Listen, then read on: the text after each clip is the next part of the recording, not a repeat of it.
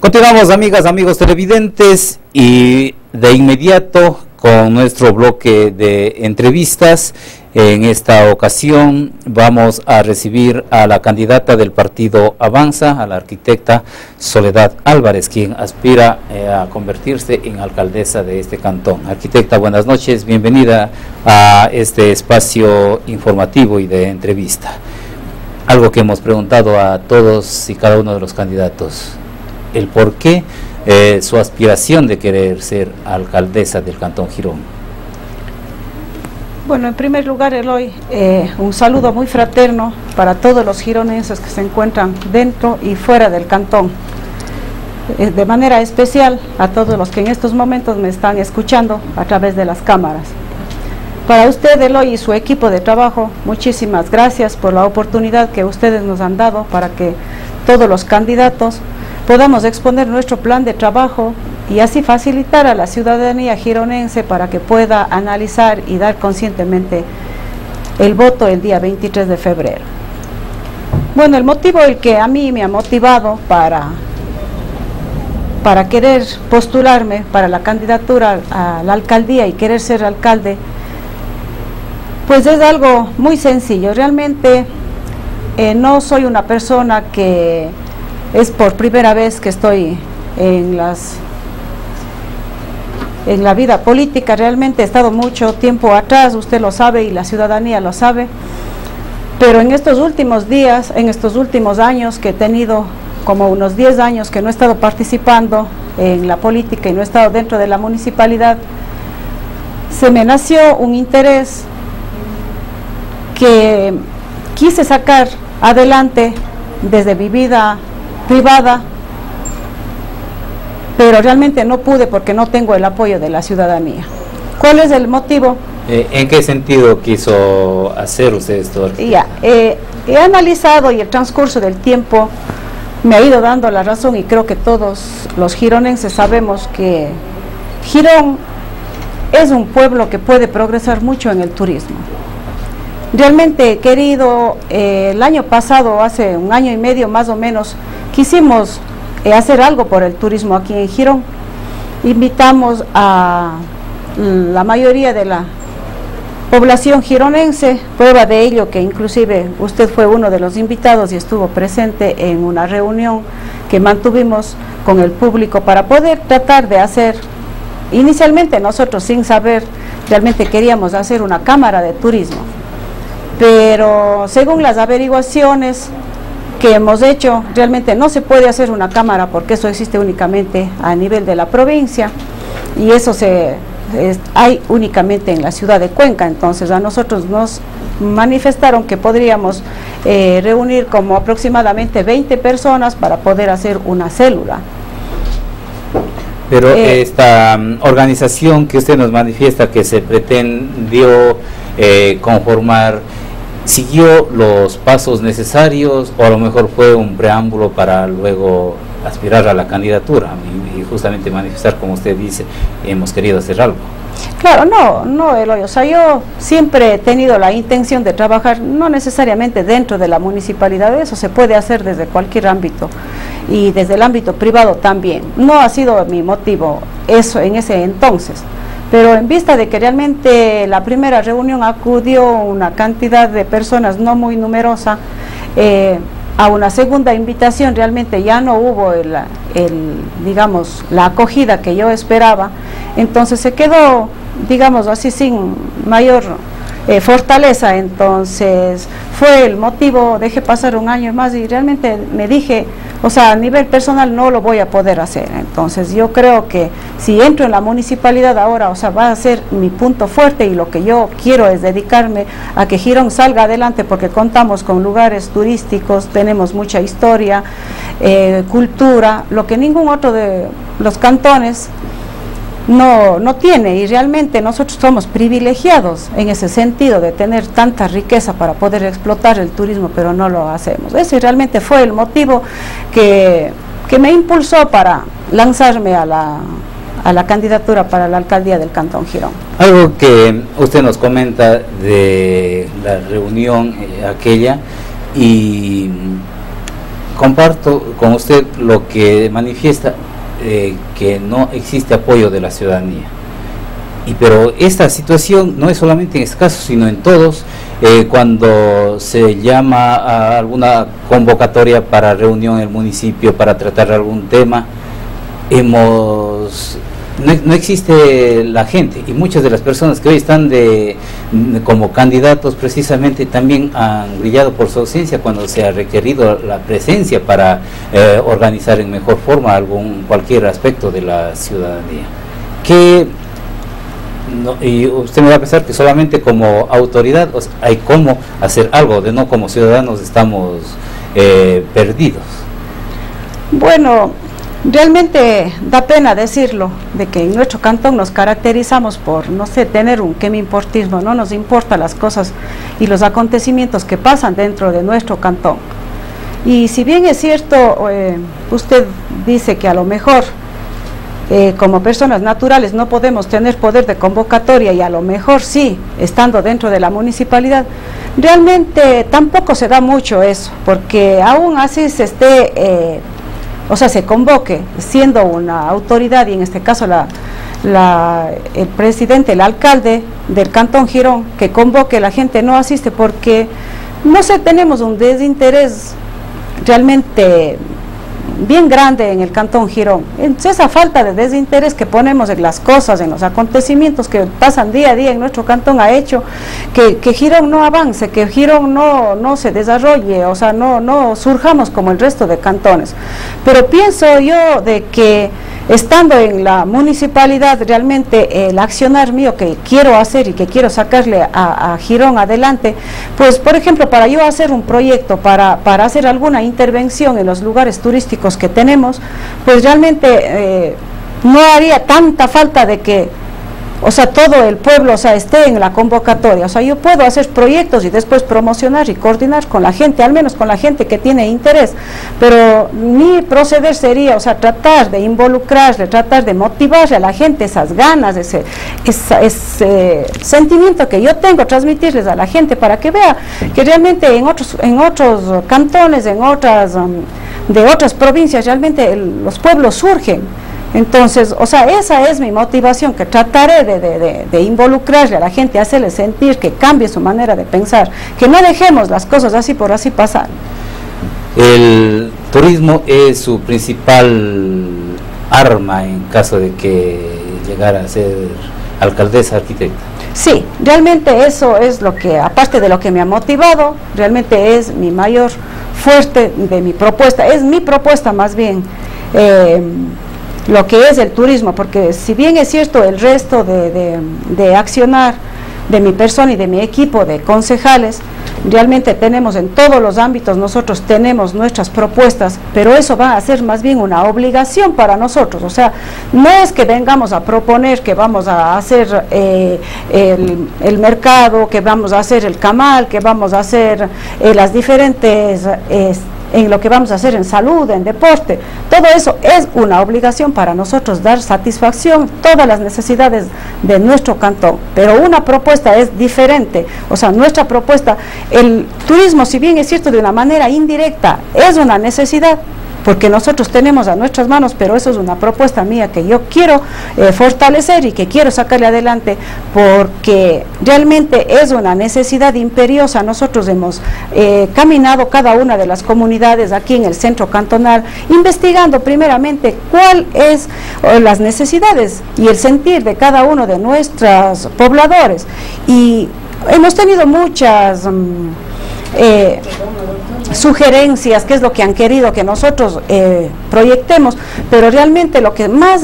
nos ha llamado la atención que es las fuentes de trabajo. O sea, todo mundo dice, no, necesitamos fuentes de trabajo, fuentes de trabajo. Ahora, si es que nosotros entramos en la municipalidad, las fuentes de trabajo no son mayores, realmente habrá las plazas que cubrir ahí, la mayor parte son de los técnicos, el resto es personal que está de planta y no se puede mover, entonces pocas son las, las fuentes de trabajo ahí. Entonces, ¿qué tenemos que hacer? Nosotros tenemos que fomentar las fuentes de trabajo y si es que nosotros eh, nos dedicamos y le sacamos adelante a nuestro cantón en lo que es el turismo, pues vamos a tener fuentes de trabajo en toda índole, vamos a tener fuentes de trabajo en lo que es transporte, en lo que es eh, las mm, microempresas pequeñas, en, los trabajos desde lo más grande hasta lo más pequeñito. Arquitecta, el turismo eh, se lo habla, se lo uh, mucho en estos últimos tiempos, eh, que esto va a generar puestos de trabajo, eh, mejorar la economía obviamente a través de esta actividad. Pero ya en concreto, ¿qué acción se va a hacer? ¿Con qué presupuesto las obras, los trabajos que se tengan que hacer, los proyectos? ¿Cómo eh, conocer casos específicos para esto? Sí, realmente esa, bueno, quería informar a la ciudadanía lo que teníamos proyectado en los otros ámbitos y al último lo dejaba en turismo justamente para ir puntualizando, porque usted bien lo ha dicho, realmente mm, muchas administraciones y ahora oímos, todos se van a dedicar al turismo, pero solamente hablan de la palabra turismo, pero no ahondan y no profundizan realmente qué es lo que se va a hacer o cómo se puede hacer. ¿Qué proponen ustedes? Sí, eh, verá, nosotros primeramente, alguien dijo, no, el turismo hay que hacer primeramente un historial, un o sea, de qué cantidad o cuáles son las riquezas que nosotros tenemos. Por ejemplo, yo propongo, primerito empezaré por el chorro, que es nuestro fuerte, que es lo que a todo mundo, hablemos así, a lo mejor nacional, le conoce a nuestro chorro. Pero ¿qué hemos hecho para avanzar? O sea, ¿qué hemos hecho para que la gente se sienta atraída a continuar visitando o que gente o nos recomienden y digan, no, vayan al chorro, es una belleza, aparte de la belleza natural que nosotros tenemos. Actualmente se tiene únicamente las casonas, mm, dos casas de refugios que existen ahí, que no es por orgullo propio, o sea, yo, pues no es que en el, tiempo de el arquitecto Sixto Durán Ballén se hizo justamente esa obra por unos proyectos que se presentó en ese entonces de mi persona y muchas otras personas que no estaban en la municipalidad, son un grupo de personas, un grupo de gironenses que en ese tiempo nos ayudaron a nosotros a pedir eso. Se hizo el puente, pero de ahí no se ha hecho nada más. Entonces nuestra propuesta ahora es darle vida. Por ejemplo, nosotros quisiéramos imponer lo que es el deporte, este deporte extremo para los jóvenes, lo que es el canopy que no va más allá de un fondo que hemos analizado, lo que más cuesta son los cables. Entonces no pasa de un presupuesto más de unos 40, 50 mil dólares, porque no es una, una, infraestructura grande. O sea, es algo atractivo, pero que sí se puede hacer. Entonces no es un, mayormente un monto eh, inflado para decir no se puede coger del presupuesto. Del presupuesto del, municipio cogeremos para hacer el proyecto, pero realmente para la ejecución de la obra podemos gestionar, porque el gobierno está apoyando lo que es para turismo. Entonces vamos a gestionar a, los diferentes ministerios para poder sacar a eso. Y en caso de no eh, ser acogida nuestra, mm, nuestra propuesta, nuestro proyecto, pues lo estaremos, o sea, tomando, poniendo en el presupuesto del siguiente año, dejaremos un monto para poder nosotros avanzar. Antes de continuar con otro punto del cual usted eh, propone en su, en su proyecto, en sus planes, eh, unos mensajes. Dice, el arquitecto en los últimos años no ha asistido a un solo evento público, no ha aportado en nada, manifiesta un, un mensaje. ¿Alguna respuesta a ello, arquitecta? Bueno, en lo que respecta a eso, realmente en algunas cosas sí he estado presente, en otros realmente no he ido. No puedo venir a decir, a querer mentir y decir, sí, sí lo he estado presente. Porque realmente, o sea, vamos a un acto público, no sé cuál exactamente es a lo que se refiere, si es que es en toma de decisiones, realmente en toma de sugerencias o lo he estado a lo mejor viendo por televisión porque se ha reclamado, se ha hecho algunos actos que yo sí he estado siguiendo de cerca en desde la televisión, en mi casa lo he seguido de cerca los problemas que van aconteciendo en, el, en la municipalidad. Algunos de ellos no he estado en el país realmente, justo se han pasado cuando no estaba presente, pero yo tengo, o sea, consciente de que realmente, o sea, cuando uno se quiere hacer algo no hace falta, o sea, estar también apoyando, reclamando todo, porque igual hace o no hace caso a las personas que están ahí, o sea, a lo mejor la, la, opinión de uno, la mayor parte, ¿qué han hecho vales? Por ejemplo, yo le pregunto a la ciudadanía o a la persona que me está, o sea, alguien ha tomado el accionar o la petición o se han movido y todo lo que ellos han, han planteado, ¿ha hecho caso tal vez en este caso de la administración municipal? Bueno, tenemos otra consulta, dice. Quisiera saber, en el caso de resultar electa, ¿estaría dispuesta a consultar al pueblo para que todos podamos opinar sobre qué nombre poner a los espacios públicos, cosa que no pasó con el Salón del Pueblo y el Coliseo? Eh, muy bienvenida su pregunta. Yo realmente agradezco. En mi intervención al principio estaba para empezar diciéndolo, esta inquietud que tiene la gente Realmente no me cae de sorpresa, he venido preparada para responder a esa pregunta, por cuanto, o sea, las personas tienen una mala información. Me da mucha pena realmente que los políticos, que los que están postulándose ahora, en vez de venir a dar su plan de, trabajo, lo que quieren hacer, para, se han dedicado realmente a que a tirar lodo en las personas para poderles, no sé, o sea, pisar cuando realmente todos tenemos el mismo, la misma intención, todos queremos que Girón surja, todos tenemos proyectos para ver progresar a Girón, pero eso no nos interesa unirnos, sino simplemente cada uno quiere llevar agua a su molino y si es que yo le puedo pisar el hombro a uno para yo irme subiendo más, llegar más pronto, pues eso lo hace. Pero voy a dar contestación a la, a la pregunta que me hace para que el señor que hizo la la pregunta sepa él y también toda la ciudadanía que tiene esa inquietud desde hace mucho tiempo. En primer lugar, quiero manifestar que no es obra del alcalde, de en ese entonces que yo asumí durante nueve meses para asumir la alcaldía, para terminar el periodo de la administración en la que estaba yo como concejal, no es periodo, potestad del alcalde coger y, hacer todo lo que, se ha venido dando o lo que se hace en el cantón. Deben pensar y deben informarse de que realmente el alcalde es solamente ejecutivo. Son los concejales los que ellos, los que ah, toman las decisiones y el alcalde simplemente es una persona ejecutiva. En este caso hubo una comisión especial para poner los nombres de las diferentes calles e instituciones. Estuvieron al frente tres concejales. Ellos fueron los que propusieron y los que pasaron al consejo y ellos fueron los que aprobaron. Simplemente el alcalde de en ese entonces, o sea, tuvo que ejecutar. Ya. Bueno, eh, continuemos con las otras propuestas que usted tiene, arquitecta, para en el plan que ustedes han desarrollado. En nuestro plan, aparte de lo que, de lo que es el turismo, que es mi, mayor preocupación en el que yo voy a hacer, eh, realmente tenemos, o sea, lo que es la agricultura, nosotros queremos fomentar lo que es la agricultura la producción agroecológica. Realmente eh, tenemos, hemos hecho unos estudios a fondo con técnicos que nos han ayudado en este sentido para nosotros proponer en las diferentes comunidades, en cada una de las, de las familias, en proponer a que se produzca el abono orgánico para cada una de, las familias y así poder producir y tener la producción agroecológica que hoy en día realmente, aparte de estar en de moda, es lo más saludable para, para la población. Entonces, queremos nosotros que en cada uno hacer sus propios... Eh, como decir, unos espacios para que se pueda producir el humus del hombre, que van a ser los que van a generar estos abonos, estos abonos orgánicos. Eh, eso nos va a servir para tener una agricultura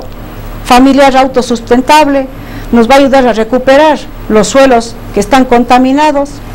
y para ello también para eh, seguir en la producción y ver qué es lo que nosotros vamos o las personas necesitan en cada uno de sus suelos, pues necesitamos hacer un estudio del análisis de los suelos, la cantidad de pH, qué es lo que cada uno de los, de los terrenos tiene para poder eh, pasar a darles algún tipo de, cultivos, recomendarles y ayudarles para darles las plantas, porque no se puede ser que como ahora van, les regalan árboles, les regalan plantas, pero no saben si es que el terreno será apto para eso o no. Entonces habría primeramente que hacer un estudio en ese sentido. queremos también fomentar y hacer una escuela de capacitación agroecológica para que puedan eh, darse este tipo de propuestas que nosotros estamos queriendo. Em, analizaremos también, a, dejaré a nivel de proyecto, porque no puedo lanzarme y decir que esto que estamos queriendo hacer, el, abono eh, orgánico a nivel de, cada una de las casitas, pues lo vamos a dejar haciendo un proyecto que sea a nivel de las comunidades. Realmente no me lanzo todavía a decir que se puede hacer a nivel de comunidades porque necesita un estudio bien profundo, no es cosa de, dejar planteando y después no sabemos cómo hacerlo. ¿Cuánto podría costar esto y cómo se financiaría esto, esta propuesta que usted plantea? Verá, eh, los que son los, um, los pequeños que son a nivel de, de, de, cada una de las casitas, o sea, no es, es un monto mm, bien pequeño que nosotros podríamos estar haciendo a través de lo que es el presupuesto participativo de cada comunidad para ir haciendo en cada una de las de las casitas se les puede donar no se utiliza más que hacerles un pocito de cemento de, de dos, dos por un metro por dos en donde se va a poder producir, a poner la propia basura de ellos, o sea, solamente lo que necesitamos ahí es capacitarles a la gente cómo es lo que tienen que hacer, porque no es una inversión realmente. ¿Qué, otro, ¿Qué otra propuesta, arquitecta, si avanzamos con, el plan? Ya, eh, también nosotros, o sea, bueno, si bien es cierto, no es una, una, una propuesta de lo que es el camal municipal, eh, deberíamos nosotros analizar y buscar el terreno, pero es sabido de que realmente es una disposición una nueva disposición que está dando el gobierno de que realmente los, los um, camales municipales no se van a dar ya más en los cantones, va a ser a nivel de zona. Entonces va a haber un solo camal a nivel en, en Cuenca, a nivel de toda la zona del sur del país. Entonces no se va a necesitar un camal municipal que busquemos nosotros un espacio, lo que sí vamos a necesitar es una, un almacenamiento con cuartos fríos, porque ya va a venir el, el ganado desde Cuenca, o sea, ya va a venir, digamos, solamente trayéndose en carros también específicos para que sean aquí almacenados y del almacenamiento se, las tercenas o los que las personas que van a vender se van a llevarse a sus diferentes negocios. Bueno, eh, eh, si avanzamos más, arquitecta, ¿qué otros son los proyectos que usted tiene, las ideas que eh, podría ponerlas en práctica en caso de ser? Sí, voy a ser un poco más breve y mm, voy a analizar en cada uno de, las, de los diferentes ámbitos. En lo que es,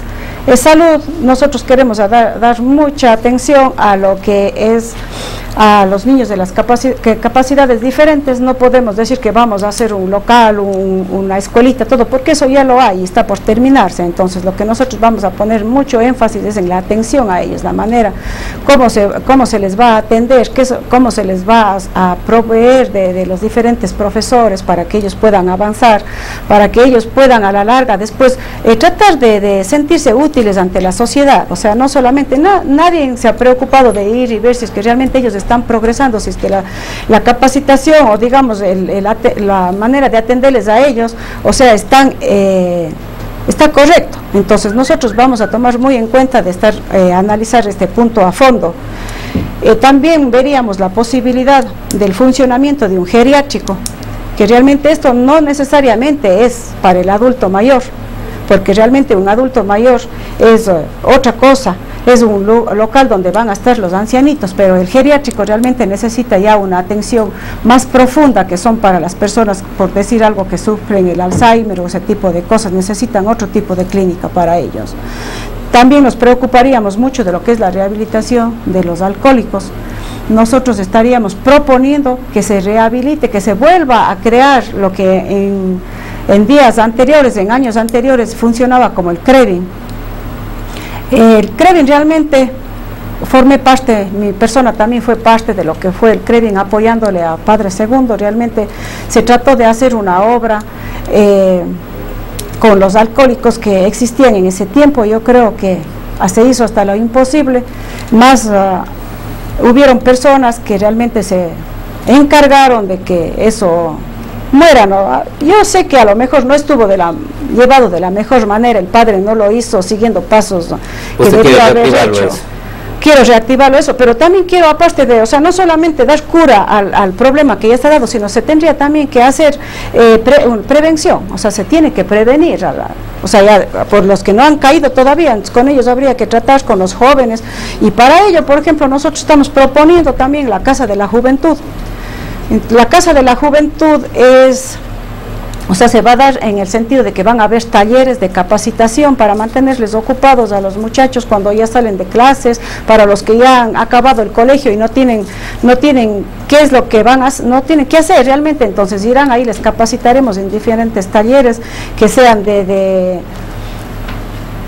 eh, talleres en lo que es música, canto, em, gastronomía, eh, artesanías, todo eso para poderles capacitar, porque nosotros queremos ir realmente fortaleciendo lo que lo que es el turismo, ¿no? O sea, todo, todas las obras que se van a hacer en el centro cantonal, en los diferentes ámbitos, siempre van a estar ligadas con el, con el turismo. Entonces nosotros tendremos gente capacitada ya para podernos en, el, en lo posterior, cuando, eh, como sabemos, el eh, turismo no va a ser de hoy a mañana, pero es un proyecto a largo, a mediano y largo plazo. Entonces ya vamos a ir preparando también nuestra, nuestra, nuestros jóvenes, todo para que ellos estén capacitados para poder producir después y ayudarnos a lo que es de la...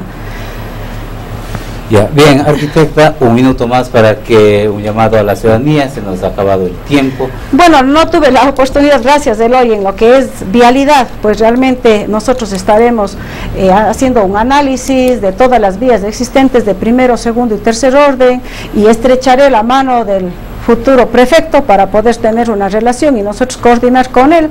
la, el, que nos ayude a continuar haciendo convenios para tener una buena vialidad para nuestro cantón.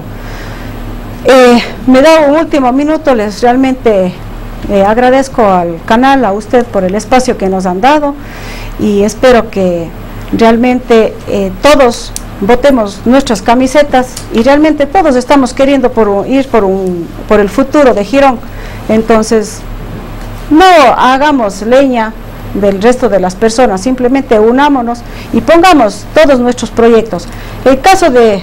no ser elegida con el voto popular, pues realmente estoy dispuesta y a cualquiera de los que lleguen a la alcaldía, eh, estoy dispuesta a poner todo lo que yo pueda para poder ayudarle y salir adelante para que Girón progrese. Bien, gracias a la arquitecta Soledad Álvarez, candidata a alcaldesa del Cantón Girón por el partido Avanza, lista número 8. Vamos a hacer un espacio publicitario, luego de instantes eh, estaremos con más de Noti Girón.